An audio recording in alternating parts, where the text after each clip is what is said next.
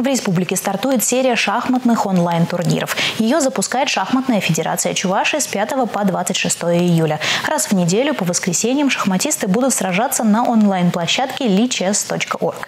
Приглашают всех желающих. Для участия необходимо зарегистрироваться на площадке и вступить в клуб Шахматной федерации Чувашской республики. Состязания за интерактивной шахматной доской пройдут среди взрослых и детей до 14 лет.